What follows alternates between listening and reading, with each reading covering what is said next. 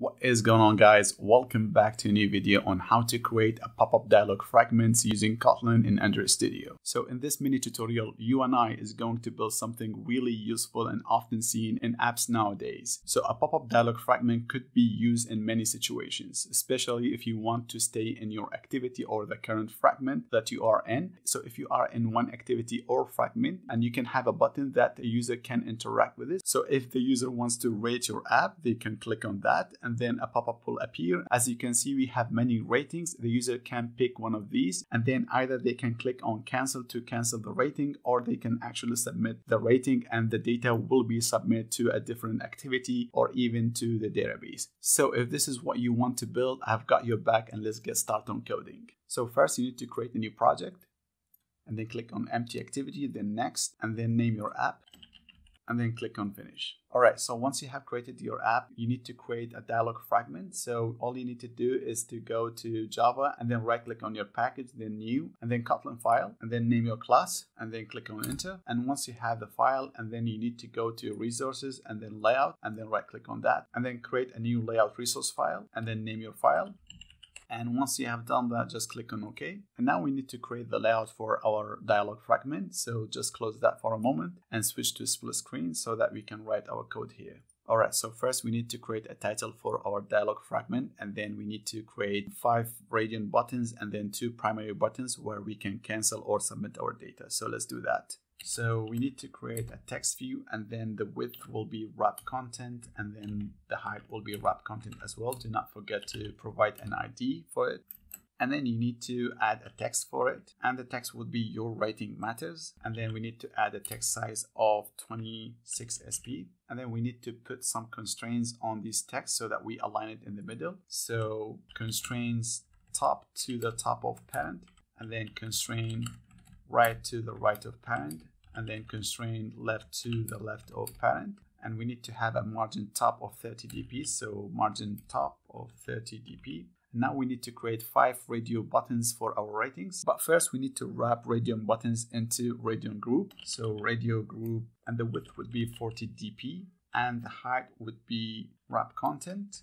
And we need to provide an id for it. So id id and then rating radio group and then we need to specify the orientation of the app. So we need to have a vertical one and then we need to add some padding to it. So 25 dp and then we need to set some constraints so that we align it into the center. So constraints top to the bottom of the id of rating header text view. And then we need to add some constraints left to the left of parent and then constraints right to the right of parent as well. And this is it and now we need to create a few radio buttons here. So radio button and then go with wrap content and then wrap content as well. Provide an id for our button and this one is excellent radio button. And we need to provide a text to our radio button and then excellent.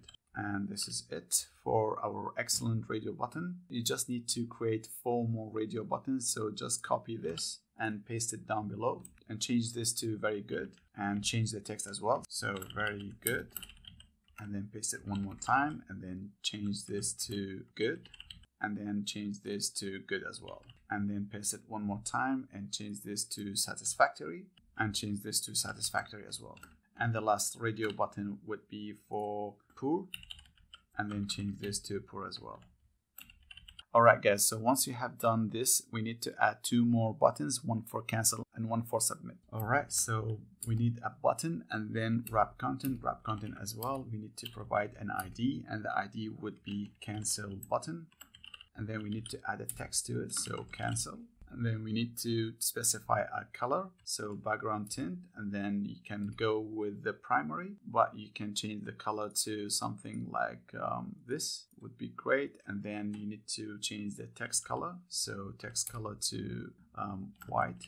And then you need to add some constraints so that you can push it from here to there. So let's add constraints top to the bottom of the id of rating radio group and then you need to add constraints left to the left of parent. And then you need to add some margin left of 25 dp and then it would be a good idea if you add a margin bottom of 25 dp as well. And once you have done that you need one more button to submit our data. So button and then wrap content wrap content add an id to it. So an id of um, submit button. And then add a text to it. So so the text would be submit. And then change the color and the color could be actually something like that great and then you need to change the color text to white and then you need to add some constraint to it so that you push it from here to there. So constraint top to the bottom of actually the same rating uh, radio group. And then you need to set constraint right to the right of parent. And then you need to add a margin right of 25 dp and then margin bottom of 25 dp as well. All right so once you have done that all you need to do is to go to activity main.xml and in here you can actually change the hello world to wait me. So you can change this to rate me and then you can increase the text size to 24 sp and then you can add an id to it. So the id would be rate me text view. And once you have done that you need to go to main activity.kotlin and in here you need to set on click listener to the rate me text view. So rate me text view dot on click listener. And then you need to create an object of the fragment custom dialog. So and you will call it dialog. And then we will set it to custom dialog fragment. All right so once you have created the dialog object you need to go to custom dialog fragment. And this is where you need to extend the dialog fragment. All right so once you have done that you need to override the method on create view. So on create um, view. And here you just remove this return. And then you need to create a root view object and then we will set it to view and then inflater and then you need to inflate it. So you need to have the resource dot layout dot choosing the fragment that we have so custom dialog and then you need to set the container and then pick false for attached to the root. So once you have that you need to return the root view. So if you go back to main activity.kotlin and here you can actually call um, show method on the dialog object and then we need to have um, support uh, fragment manager and then we need to add a tag to it. So custom um, dialog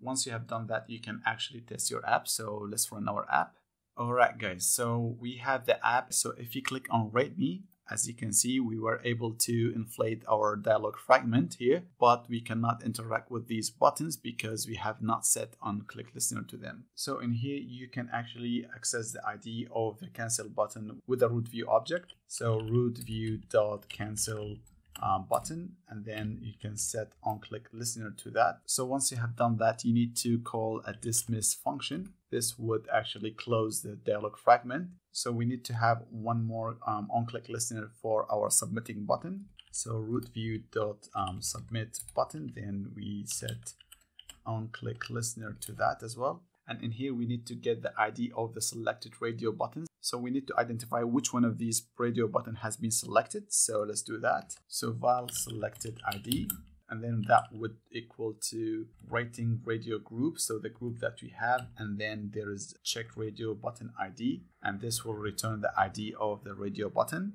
And then we need to access the radio button itself. So radio and then equal that to the root view and then we need to call on find view by id and that would be radio button actually. So button and then you need to pass the selected id to that. So once you have done that you need to store the value of the radio button. So rating result and that would have the radio itself and then we need to go to the text and then we need to change that to string so to string. And once you have the result you can show it anywhere. In this case we can show it to the toast notification message so make text and then context and then our text would be you rated and then you can pass the variable rating result. And then toast dot and the length would be long and then we need to show the message. So once you have showed the message you need to actually close the dialog fragment by calling the dismiss function. All right guys i think this is it. So to see the result we need to run our app one more time.